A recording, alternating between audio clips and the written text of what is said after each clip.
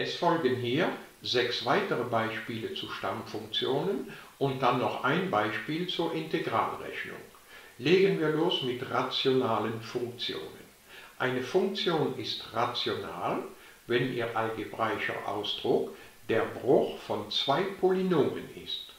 Und um von solch einer rationalen Funktion eine Stammfunktion zu bestimmen, verwandelt man diesen Bruch zuerst einmal durch Polynomdivision in einen Quotienten von zwei Polynomen ohne gemeinsame Nullstelle und zwar so, dass der Grad des Zählers streng kleiner ist als der Grad des Nenners. Am besten schauen wir in einem Beispiel, was das Ganze heißt. Hier haben wir eine rationale Funktion, Bruch von zwei Polynomen, und der Grad des Zählers ist nicht streng kleiner als der des Nenners. Deshalb müssen wir zuerst einmal die euklidische Polynomdivision vornehmen und stellen uns hier die Frage, womit muss ich das multiplizieren, um daran zu kommen? Ja, mit 1. Jetzt machen wir das Produkt 1 mal dieses Trinom und schreiben dieses Produkt dahin. Sobald man das Produkt gefunden hat, nimmt man alles entgegengesetzt, so, und dann wird addiert. Die zwei ersten Termen, die fallen immer weg. Wenn sie nicht wegfallen, hat man da schlecht gearbeitet. Der Rest ergibt dann x plus 13. Und der Grad von x plus 13 ist streng kleiner als der Grad vom Teiler. Also ist die Division beendet und wir können daraus schließen, dass dieser Bruch genau dasselbe ist wie 1 plus diesen Rest geteilt durch den Teiler. Also diese rationale Funktion ist dasselbe wie 1 plus x plus 13 auf x minus 4x plus 5. Das ist eine Summe. Also dürfen wir hier zerstückeln und rechnen die Stammfunktion von 1 dx, das heißt x, plus die Stammfunktion von diesem Bruch dx. In diesem Bruch kann man den Nenner faktorisieren, denn die Diskriminante Delta, die ist hier streng positiv. Deshalb kann man diesen Nenner faktorisieren in x minus erste Nullstelle mal x minus zweite Nullstelle mal die Vorzahl von x Quadrat. Die ist aber hier 1. Die zwei Nullstellen sind hier natürlich 5 und minus 1. Und aus diesem Grund, weil man das Trinom so faktorisieren kann, kann man diesen Bruch auch noch so schreiben. Dieser Bruch ist dasselbe wie eine konstante Zahl, wir nennen sie hier mal groß a, geteilt durch dieses Binom plus eine Konstante, wir nennen sie hier groß b, geteilt durch dieses Binom. Hier gilt es jetzt, diese konstante Zahlen a und b herauszufinden. Dazu machen wir hier alle Brüche gleichnamig, da dieses Trinom das Produkt von diesen beiden ist, ist es schnell gleichnamig gemacht, indem man hier Nenner und Zähler mit x plus 1 multipliziert und hier Nenner und Zähler mit x minus 5 multipliziert. So, und dann kann man den gemeinsamen Nenner sofort fallen lassen. Hier steht jetzt, dass x plus 13 dasselbe sein muss wie ax plus a plus bx minus 5b. Das schreiben wir ein bisschen anders. Wir klammern dann in diesem algebraischen Ausdruck das x aus. Zwischen Klammern bleibt dann natürlich a plus b. Und der unabhängige Term wird dann sein a minus 5b. Jetzt haben wir hier die Gleichheit von zwei Polynomen. Diese Gleichheit ist nur dann möglich, wenn die Vorzahlen von x gleich sind und wenn die unabhängigen Termen ebenfalls beide gleich sind. Somit führt das zu diesem Gleichungssystem mit den zwei Unbekannten a und b, das wir dann lösen. Und so findet man, dass a 3 sein muss und b minus 2 sein muss. Übrigens, um diese zwei Zahlen a und b daraus schneller zu finden, könnte man wie folgt vorgehen. Diese Gleichheit, die ist von da abgeschrieben, diese Gleichheit muss ja gültig sein für egal welchen x-Wert. Also muss sie auch gültig sein, wenn x minus 1 ist. Dann ersetzen wir hier drin überall x durch minus 1 und finden dann das 12 dasselbe sein muss wie 0 plus minus 6b. Es war also clever hier minus 1 einzusetzen, weil die unbekannte a durch diesen besonderen Wert verschwindet. Denn wenn x minus 1 ist, dann ist diese Klammer 0.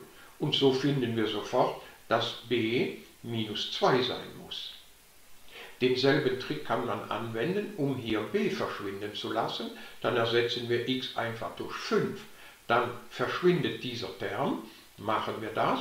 Wenn x 5 ist, dann ergibt diese Gleichheit 18 gleich 6a, woraus wir sofort finden, dass a 3 sein muss. Das geht so ein bisschen schneller als mit diesem Gleichungssystem.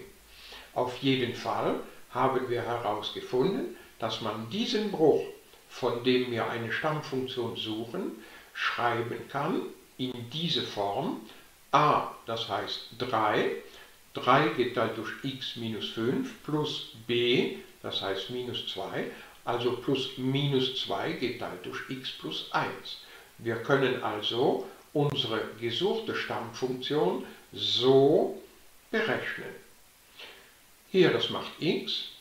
Bei dieser hier schmeißen wir die multiplikative Konstante 3 raus, dann bleibt noch 1 auf x minus 5 und durch die einfache Substitution u gleich x minus 5 werden wir dann den natürlichen Logarithmus vom Betrag von x minus 5 finden.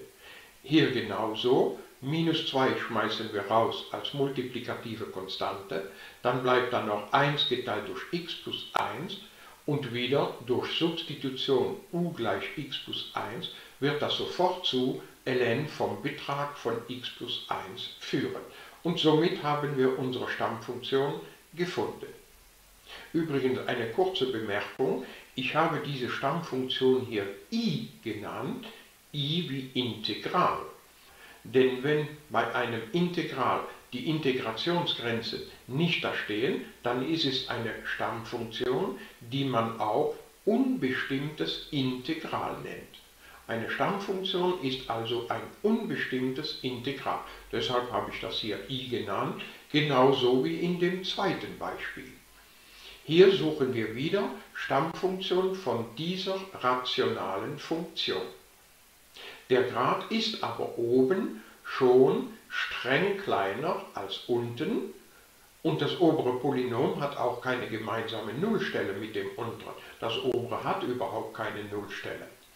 In diesem Nenner hier ist die Diskriminante Delta streng negativ. Jedes Mal, wenn das der Fall ist, versuchen wir diese Stammfunktion irgendwie auf die Stammfunktion von 1 auf x plus 1 dx zurückzuführen. Das heißt auf Arcus-Tangens von x. Zuerst einmal nimmt man hier für x plus x die quadratische Ergänzung vor. Das heißt, zu diesem Binom addieren wir ein Viertel, dann macht dieses Binom plus ein Viertel das perfekte Quadrat x plus ein halbes hoch 2. Aber dann haben wir ein Viertel addiert. Ein Viertel muss also sofort wieder subtrahiert werden und 1 minus ein Viertel, das macht 3 Viertel. Das ergibt sich also aus der quadratischen Ergänzung von diesem Binom. Aber jetzt steht da hinten 3 Viertel. Wir hätten da gerne eine 1. Wir erreichen hier die 1, indem wir Nenner und Zähler vollständig multiplizieren mit 4 Drittel. Tun wir das. Oben haben wir dann 4 Drittel und unten haben wir alles mit 4 Drittel multipliziert und 4 Drittel verteilt. Also ergibt das 4 Drittel mal dieses Quadrat plus 4 Drittel mal 3 Viertel, das heißt die 1. Zumindest haben wir jetzt da hinten diese 1. Aber jetzt haben wir davor kein Quadrat. Hier steht 4 Drittel vor dem Quadrat. Wir möchten aber nur ein Quadrat haben. Deshalb stecken wir diese Zahl 4 Drittel in diese Quadratklammer hinein. In der Quadratklammer wird diese Zahl dann zu 2 geteilt durch Wurzel 3. denn 2 geteilt durch Wurzel 3 im Quadrat ergibt 4 Drittel. Und diese Zahl 2 geteilt durch Wurzel 3, die muss dann hier in der Klammer verteilt werden. Dann sieht das Ganze so aus. Und die Zahl 4 Drittel von oben, wir schreiben 4 Drittel mal 1 und schmeißen diese 4 Drittel als multiplikative Konstante aus dieser Stammfunktion raus. Jetzt bleibt noch das da. Und hier haben wir effektiv die Form 1 geteilt durch ein Quadrat plus 1, genau wie da. Dann nennen wir diese Klammer hier u. Wir nehmen jetzt die Substitution vor, u gleich diese Klammer. So, denn dann wird das führen zu 1 auf u plus 1, genau das, was wir gerne hätten. Wenn u gleich diese Klammer ist, dann ist die Ableitung von u gegenüber x die Zahl 2 auf Wurzel 3 und somit ist das Differential du gleich zu 2 auf Wurzel 3 mal das Differential dx. Und daraus können wir schließen, dass dx dasselbe sein muss wie Wurzel 3 geteilt durch 2 mal du. So, jetzt können wir diese Substitution hier vornehmen und das führt dann sofort zu dieser Stammfunktion so, wie wir es eigentlich wollten. Wir ersetzen dieses dx durch Wurzel 3 halbe du und Wurzel 3 halbe ist dann sofort aus dieser Stammfunktion raus als multiplikative Konstante und dann bleibt hier noch als Bruch 1 geteilt durch u plus 1. Diese Stammfunktion ist also Arcus-Tangens von u, so, und somit haben wir die Stammfunktion mit u gefunden und letztendlich ersetzen wir dieses u noch durch das, was es ist und die Stammfunktion ist somit gefunden. Es ist schon seltsam, dass die Stammfunktion von solch einer einfachen rationalen Funktion zu einer zyklometrischen Funktion führt. Aber wenn man diese Funktion ableitet, dann findet man effektiv diesen einfachen Bruch. Ein drittes Beispiel. Die Diskriminante von diesem Trinom zweiten Grades, die ist gleich 0.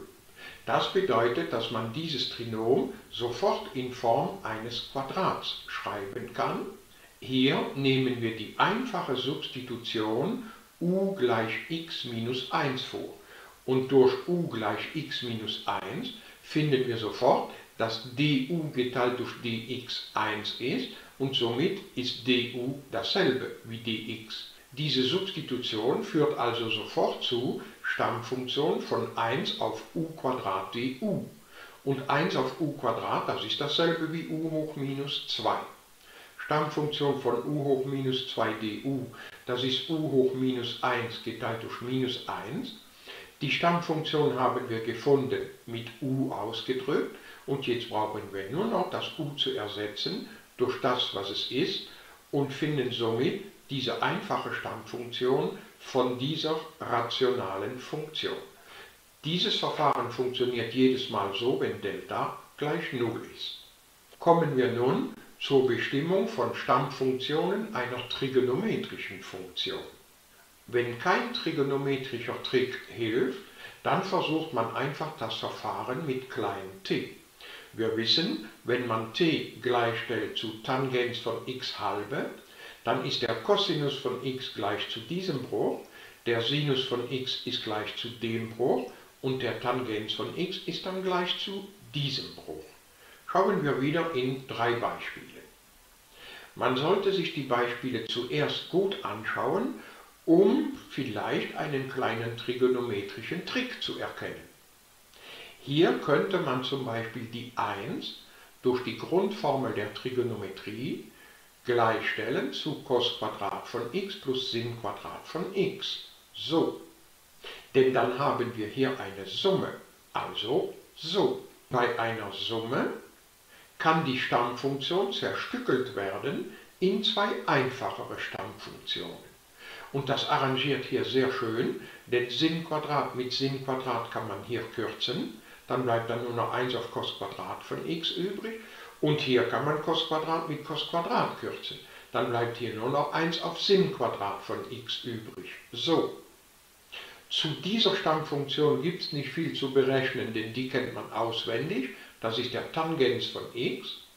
Und diese Stammfunktion, man kann sehr schnell herausfinden, dass das die Minus-Kotangens von x ist. Und somit haben wir die Stammfunktion davon bestimmt. Fertig. Mit einem trigonometrischen Trick konnten wir das Klein-t-Verfahren umgehen.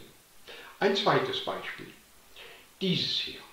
Wir haben hier das Produkt von zwei Cosinuswerten. Vorsicht, Stammfunktion von einem Produkt, das ist nicht das Produkt der Stammfunktionen. Hier kann man also nicht zerstückeln.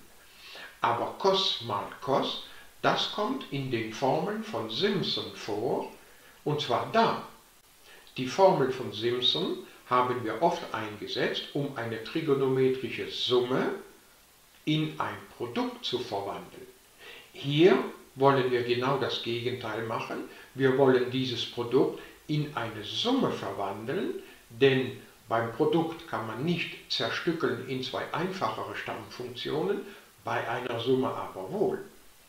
Also setzen wir in dieser Formel die 2 mal darüber, dann teilt die hier, dann bleibt hier cos mal cos genau wie da. Und dann stellen wir p plus q halbe gleich 2x und p minus q halbe gleich 4x. Somit ergibt sich dann p plus q halbe ist 2x, p minus q halbe ist 4x.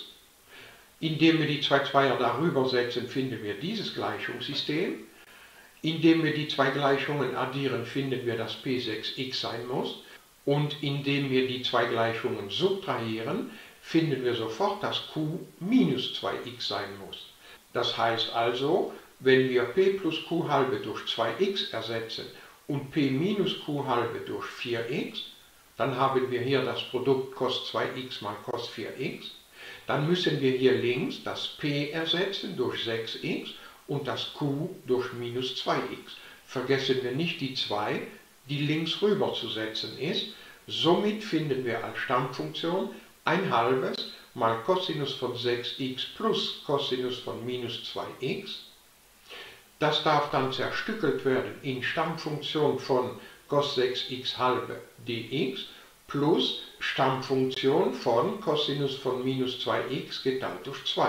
Und das führt dann sofort zu der Summe von diesen zwei Brüchen. Die Stammfunktion ist gefunden. Wieder konnten wir durch einen trigonometrischen Trick das Klein-t-Verfahren umgehen. Ein drittes Beispiel. Stammfunktion von dx geteilt durch 1 plus cos x.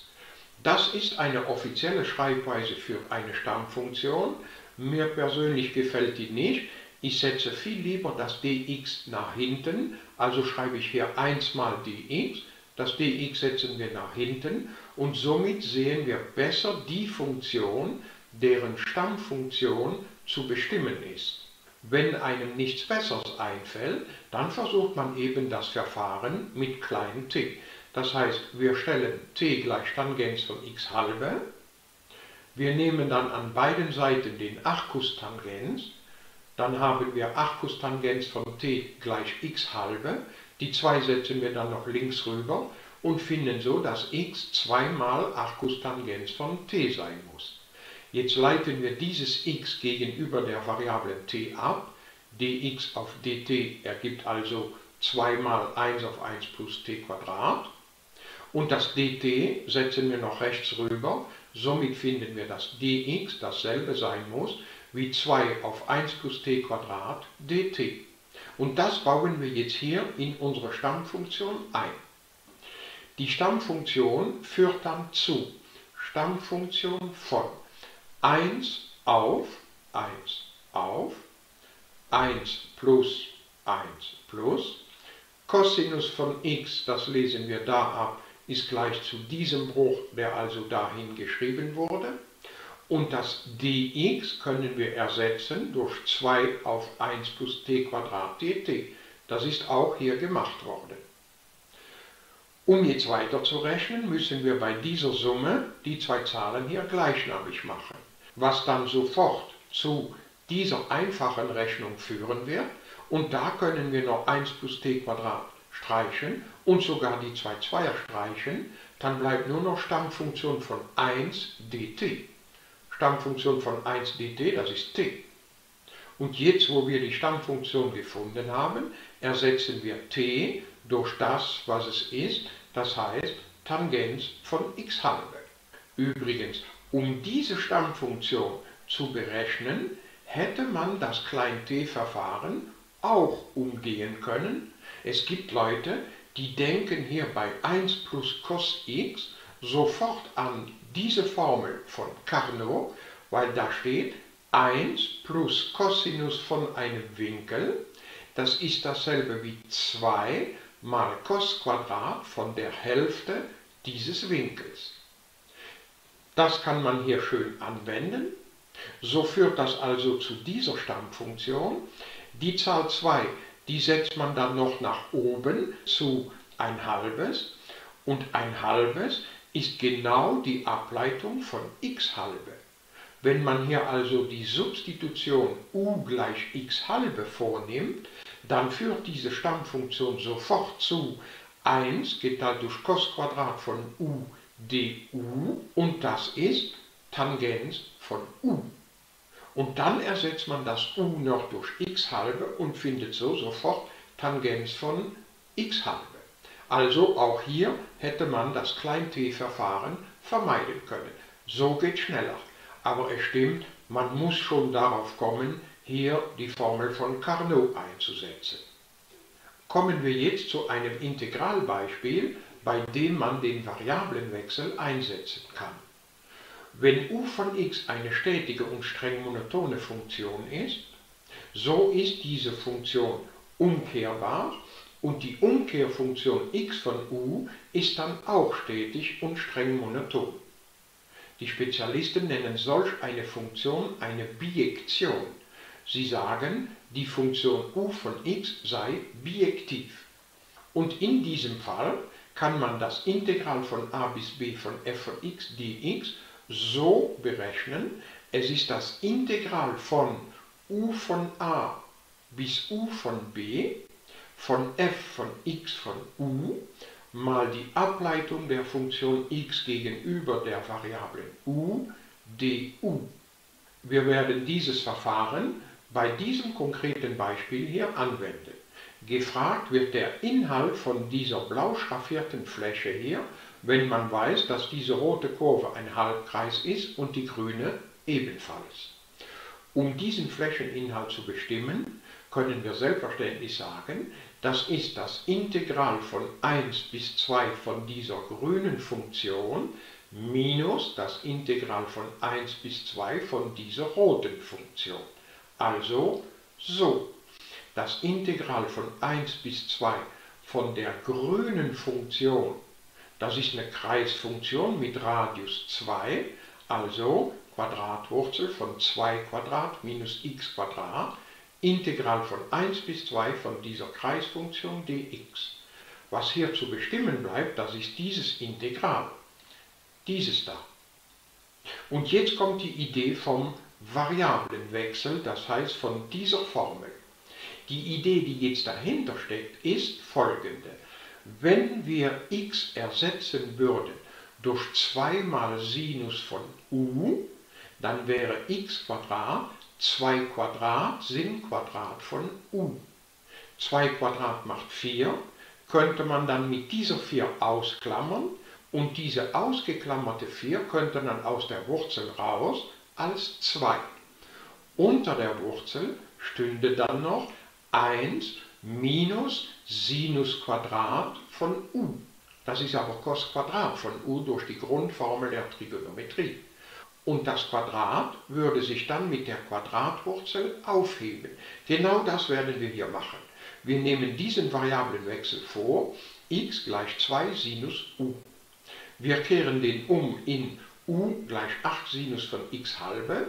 Das ist ein Variablenwechsel zwischen dem Intervall von 1 bis 2 und dem Intervall von Pi Sechstel bis Pi halbe. Wie kommen wir darauf?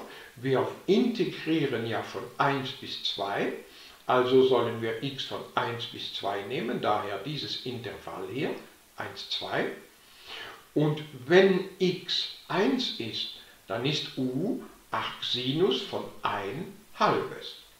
Und der Arcsinus von 1 halbes, das macht Pi Sechstel, weil der Sinus von Pi Sechstel ja ein halbes ergibt.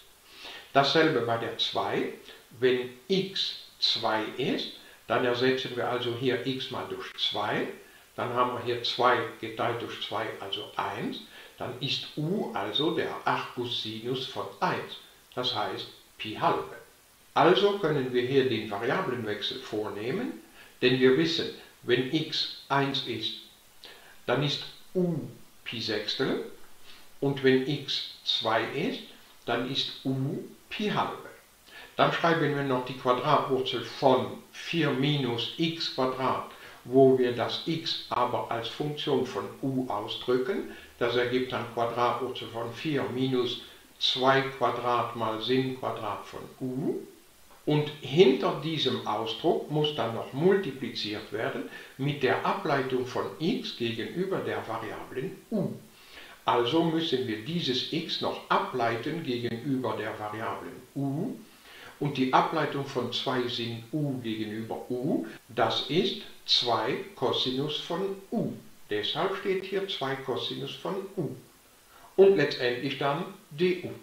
Okay, jetzt machen wir genau das, was wir eben sagten. Die 4 kann hier ausgeklammert werden, darf dann aus der Wurzel raus und wird dann dazu 2.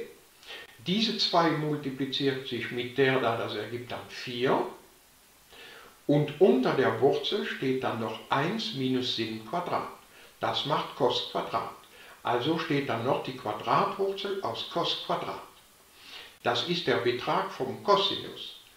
Da der Winkel u sich aber zwischen Pi Sechstel und Pi halbe befindet, ist der Cosinus von u positiv.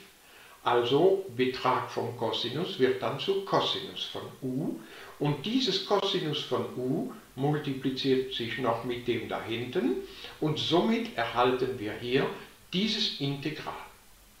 Die 4 fliegt noch da raus. Stammfunktion von cos Quadrat, die können wir leicht bestimmen durch die Formel von Carnot, cos Quadrat von u, das ist 1 plus Cosinus von 2u geteilt durch 2. Und durch diese Formel führt dieses Integral sofort zu der Variation dieser Stammfunktion. Jetzt ersetzen wir zuerst einmal das u durch Pi halbe, danach ersetzen wir das u noch durch Pi Sechstel und ziehen die zweite von der ersten Zahl ab und somit ergibt das 2 Pi Drittel minus Wurzel 3 halbe. Jetzt haben wir also herausgefunden, dass dieses Integral gleich zu dieser Zahl ist und der Flächeninhalt, den wir eigentlich suchen, das ist dieses Integral, also diese Zahl, minus Pi Viertel.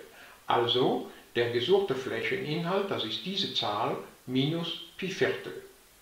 Das machen wir noch alle schön gleichnamig und finden somit als Flächeninhalt 5pi minus 6 Wurzel 3 Zwölftel.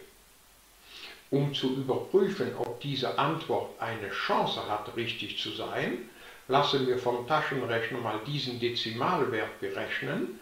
Der Taschenrechner findet ungefähr 0,44297. Das ist ein bisschen weniger als 0,5. Und dieser Flächeninhalt hier kann effektiv ungefähr so groß sein wie die Hälfte vom Einheitsquadrat. Das stimmt überein.